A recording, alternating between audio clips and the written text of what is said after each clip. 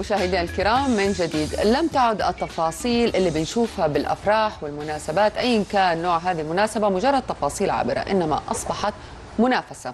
هذه المنافسة أخرجت الكثير من المبدعين. أحد المبدعين هم أو هي ضيفتنا الكريمة في الاستوديو إحنا عندنا اليوم لقاء مع حنين القحطاني منسقة المناسبات والحفلات. أهلا وسهلا فيك يا حنين. هلا وسهلا فيك. حياك الله سعيدة بتواجدك سيدتي فيك تفضلي. آه، حنين آه، هذا المجال مجال يلتزم أو آه، يعني يتطلب الكثير من الإبداع. عرفتي؟ فأنت حكينا بداية كيف كانت بدايتك مع هذا المجال خصوصا إنه مجال شرس مليء بالمنافسة. والله هي كانت البداية قبل يمكن تسع سنوات كهواية. تسع سنوات بديتي. إيوه كهواية في يوم زواجي. سويت أنا نظمت بعض الأشياء. سويت كروتي. سويت لمساتي على القاعة وطبعا نالت إعجاب الكثير. وبعد كذا دخلت تنسيقات برضو لصحباتي لأهليتي. وتقريبا قبل كم سنة دخلت في الغرفة التجارية وهي اللي دعمتني تسع سنين أنت بدأتي بفرحك يعني. أيوه. أنت كانت تجربتك بفرحك الأولى. وبعدين انتقلتي لأفراح المعارف والقرايب وإلى آخره. طب لما بدأتي الاحتراف رسميا مين وفر لك الدعم؟ والله وفرت لي أول شيء الغرفة التجارية. آه في إنها دخلتني معارض وبازارات وخلتني أنظم آه آه أو شاركت في التنظيم في معرض الهيلتون في رمضان. كان آه بافتتاح خالد الفيصل سويت اللوبي كامل الواجهة وسويت بعد كذا كمان آه اشتركت في سوق عكاظ في كوشة الغمرة. بعدين في مع دخلتني في معارض برضو سو... والحمد لله بعد كده نظمت مناسبة لحقت قدوم مولود أو سابع. في معرض آه، مركاز وأخذت فيها الجائزة الأولى الحمد لله كأحسن تنظيم فيها. فبعدها كمان آه، خلوني آه، أنظم في مدينة الملك عبد الله الكاوس بالثول آه، ومن وقت من شيء لشيء من شيء لشيء بعد كذا في نفس معرض مركز كان فيها مشتركين معهد ريادة ريادة الأعمال اللي تمول تمام. للمشاريع يعني. والحمد طيب أنت. بتقولي ما يعني أسامي كبيرة. أنت يعني قد نظمتي يعني احتفالات ومناسبات رسمية كبيرة ونسقتي وإلى آخره. أيوه أنا شاركت فيها. مو أنا اللي أخذتها آه. انت شاركتي. شاركت أيوه وك... أها. و... و... ومسكت في التنظيم. أيوه أي نعم. بس إني أنا ككل لا. أها. بس, كان لك جزء معين أيوة، انت أنا بتنظميه؟ اختصاصي ك- آه الحين أفراح مناسبات كوش. بس okay أنا ما ما ما يخالف يعني إذا أنا دخلت في تنظيم المعارض. تمام. لأنها طب هذه هذه أسامي بعض. كلها تحتاج إلى ثقة كبيرة عشان الناس. تقدر. حتى لو جزء بسيط إنها تسلمك هذه الب... يعني أكيد في جزء مشاركة إحنا فاهمين لكن في جزء انت قمتي بتنظيمه. طب إيش سويتي عشان النا- الناس تثق فيكي خصوصا حرجع واعيد وأقول في منافسة. الله يعطيك العافية. هي الأرزاق بيد الله على ما يقولون. والله جميلة كلمتك هذه. يا ريت كل الناس تعرفها. هي يعني الأرزاق بي... هذا كان في آه، معرض مركز تو طلعت الصورة. تمام. الأرزاق بيد الله وك... وما حد ياخذ غير نصيبه يعني. الناس بتشوف وبتطالع وف...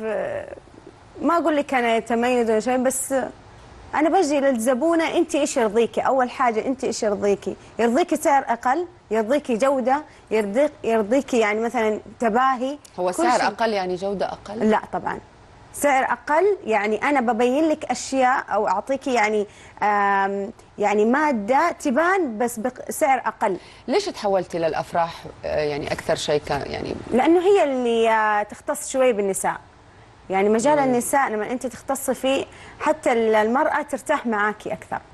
ومجال مجال الفعاليات وكذا ترى مرة كبير يعني في الموضوع أكيد هذا. أكيد. ولازم يكون عندك خبرة ما خفتي شوية. من المنافسة عشان كذا حولتي أفراح. والله أنا ما لا هو أنا أول شيء كنت أصلا أنا ما أفراح. بتكلم عن منافسة عادية بتكلم على حيتان ما شاء الله لا تبارك والله أنا يزيني لسه صغيرة بصراحه العبارة وأنا ما ما أقارن نفسي بأي أحد.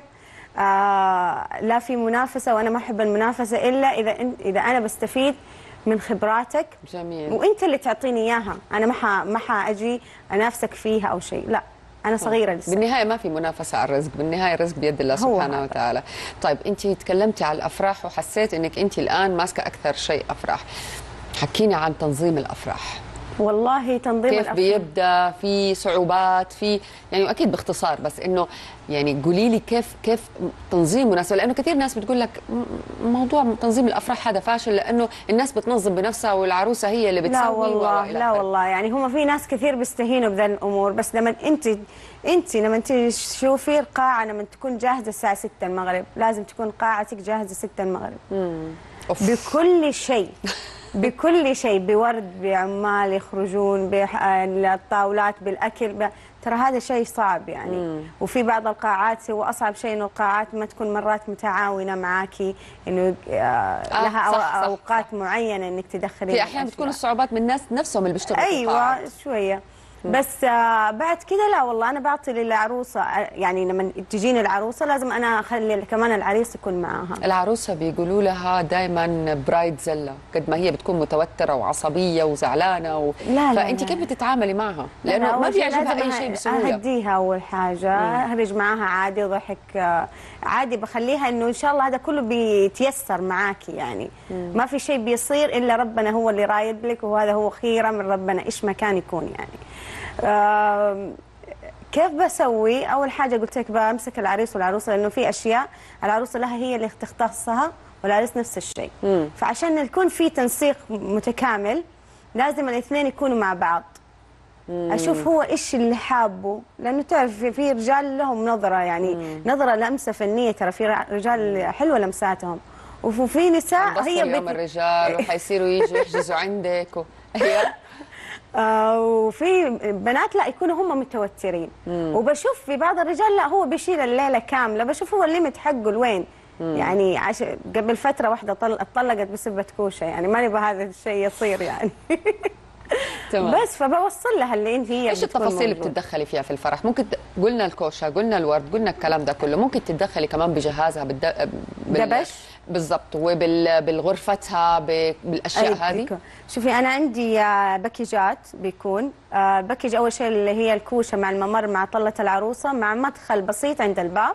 هذه تسمى كوشة. إضافات مثلا ستاير كاملة القاعه طاولات اللي فوق ال- مثلا الحل اللي فوق الطاولات آه، مدخل زيادة يعني آه، مدخل استقبال آه، إذا تبغي بعد كده يعني برضو تغليف الدبش هذه كلها إضافات.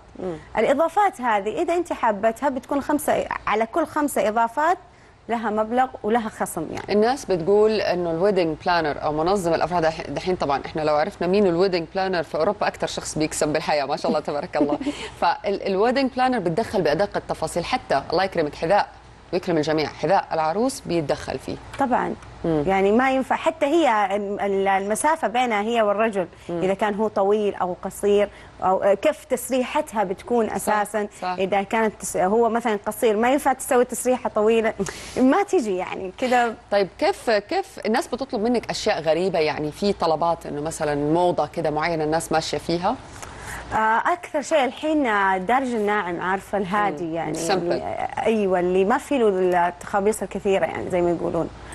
آه وفي بعض الناس لا إذا ما شافت الترتر هذا اللي يملي العين ما ترتاح. بصراحة. يعني. جميل تشبيه. والله. أوكي. طب يعني آه في ناس بتطلب البسيط وفي ناس بتطلب المبهرج. أيوه. عرفتي؟ أي. طيب ما في موضة دارجة الآن؟ إيش شيء غريب كمان طلب طلب منك وانت استغربتي؟ ما في شيء غريب اللي بينطلب أكثر ما حاجة؟ في تقليعات أعراس؟ كيف؟ ما في تقليعات للأعراس؟ كيف يعني تقليع؟ يعني أشياء كده غريبة بيطلبوها عشان هم يتميزوا؟ شوفي الأشياء الغريبة اللي هي تبي تمي- تتميز فيها وشيء على حسب قلت لك يعني في بعض الأشياء العرايس هي ما هي عارفة هي إيش تبغى. فإحنا بنوصل لها أنت إيش تبغي وتكون أصلا ما عندها يعني ما عندها غير على حاجة حاجة يعني متوفرة. هذه الأشياء الغريبة والشيء. في بعض مصاريف. مصاريف طبعا. إذا أنت تبي أي شيء يميزك فيه أنا ما حسويه عندي. لأنه هذا ممي- مميز لك يعني. ما ما حيتسوى إلا لك. يعني حتخ... حيتسوى حيجي لك وخلاص. ما حد ما حد حياخذه. قد إيه بياخذ وقت عفوا تنظيم؟ والله؟ في العادة آه، أقل شيء شهر. بس إذا في تميز أو شيء كبير من الألف للياء آه طلبية أو زواج لازم أقل شيء ثلاث شهور. ثلاثة شهور عشان ثلاثة شهور. هذا إيش؟ أي كان نوع الفرح ولا الأفراح لا اللي هي من الألف للياء. إذا أنا آه. بتخص من الألف للياء لأنه آه يومها أنا ما حقدر أمسك أي مناسبة إلا لك. عارفة أن ثلاثة شهور وهذا ضمن لا ده حلو لا بلاش ده لا غيري ده طبعا لا. هذا هذا بنلاقي فيه كثير. تمام. بنلاقي ولا وأنا أكثر حاجة يعني يمكن مو اللي أقول لك اللي يميزني ولا شيء أنا بعطيها خيارات. بعطيها كذا كذا كذا. وطيب لو إنه تبي مثلا التوزيعات حقت الفرح اللي هي الهدايا آه، إيش اللي أنت تبغيه؟ مثلا عطر عودة أي شيء. فأعطيها خيارات عشان هي تقدر تختار. لأنه قلت لك في بعض العرايس هي تكون متلخبطة. تمام. أنت توضي آه، توضحي لها الصورة بحيث إنها هي تبين إيش فكرها. تمام تمام. كثير ناس حابين يدخلوا هذا المجال. حابين ينجحوا. لهم حلم. بداية الحلم. أو إيش؟ الحلم يبدأ بإيش عشان يصبح حقيقة. خلينا نكون ملهمين للشباب والفتيات اللي حابين يدخلوا هذا المجال. لا تبخلي عليهم واعطيهم نصيحة. والله هي ال- التصور لما أنت تتصوري نفسك فائزة أو واصلة ها بحد ذاته هذا نجاح. إذا؟ إذا تصورتي نفسك كيف آه، تصوري نفسك آه، وأنت okay، okay. فائزة أو ناجحة أو في مركز عالي؟ هذا بحد ذاته نجاح هو اللي حيوصلك هذا قانون جذب. طيب. هذا هو النقطة اللي حتوصلك لطريق الهدف تمام، زي ما يقولوا. تمام. فأنت كيف تصوري نفسك؟ حتوصلي. في أي مجال كان سواء مناسبات أو آه، يعني أزياء أو إيش ما كان يعني. بس فمجال ال- الأعراس أو ال- المناسبات ترى مجال صح إنه صعب بس لما تيجي تبدأيه حبة حبة وما تتصوري يعني ما تبغي ما يكون لك ال- الهاجس المادي ترى بتوصلي. لأنه في كمان في معرض نظمته آه، كنت داعم فيه آه، اللي هو المعرض التطو- التطوعي للمتقاعدين. تطوع. يعني أنا اللي دافعه بس اسمه إنه أنا لما رحت نظمت آه، أبى أتطوع مع ناس يعني فعلا كانوا كانوا آه، زي ما يقول لك ركيزة في المجتمع كنز للمجتمع اللي هو المتقاعدين يعني. تمام. بس فأنت لا توصلي للهدف المادي عشان لا أنت تتحطمي. بالضبط. شكرا لك يا حنين. أنا أتمنى لك كل الخير والتوفيق. تستاهلي. تسلمي شكرا لك شكرا يا رب. شكرا. اذا مشاهدينا الكرام بعد هذه الفقرة ما زالت فقراتنا. سيدتي مستمرة لكن بعد هذا الفاصل القصير ابقوا معنا. في سيدتي بعد الفاصل. حقوق الرجل الأسبوعية. تناقش حق الرجل في اللجوء لعمليات التجميل.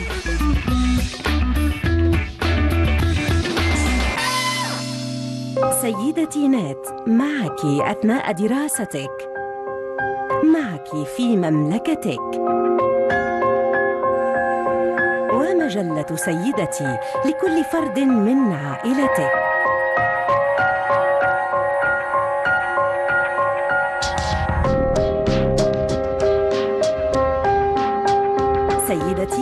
سيدتي وموقعها الجديد. لكم ومعكم كل لحظة. أنا اليوم في بيت أكرم ونورة. أكرم ونورة بدأوا حياتهم بشراكة زوجية. هي كانت بتخترع أشياء وبتصمم أشياء وتبغى تسوي شيء. آه، لما أبدأ أنا أحط لمسات وأضع وأرتب والله شو أوه أوكي ممتاز نورة والله برافو عليكي. الشراكة بين الزوجين موضوع جدا شائك.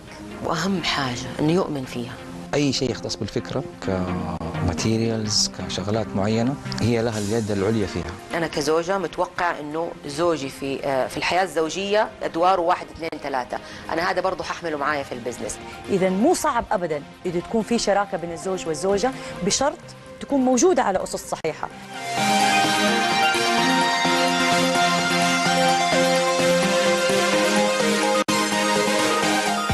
أصبح لازم عقد. صار زواج بعقد ما حيصير شراكة بدون عقد مستحيل. في سيدتين بزنس مع ولاء نحاس